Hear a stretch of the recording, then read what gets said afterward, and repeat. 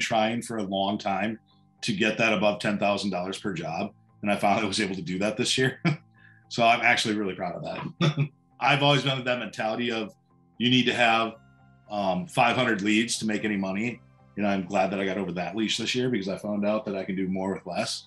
I'm most proud of myself for the sales that I've made in a new industry, along with learning a new sales process. My leashes were were definitely getting comfortable with uh, follow-ups and callback. Um, it was big big help having you up and going through all that and listen to every, everybody's follow-ups and like the the naughty words. I mean, that's going to be a huge help for me um, going going into next year.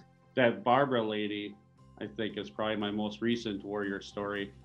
Able to get her to move forward and sign, just kind of because she did have like three other contractors she was talking to, and she didn't plan on doing it for a couple years. Really excited to see, you know, um, how profitable I could actually make myself and this company um, when I when I get out there. This year has been a great success. We've got um, guys getting better each day. There are even veterans in in this. I'm really proud of everybody on the call.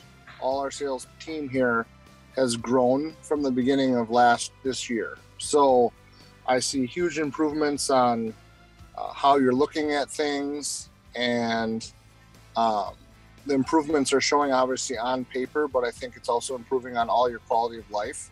So that helps you do your job better. So I really just want to commend everybody for um, having that open mind. You know, I think this is almost year three with FPG now, for sure. I think it's year three.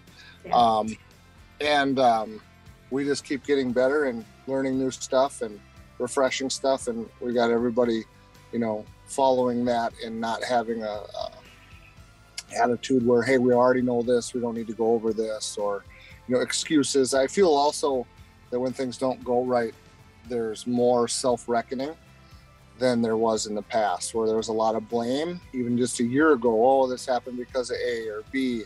I think there's a lot more growth with um, your win or win or learn attitudes from just a year ago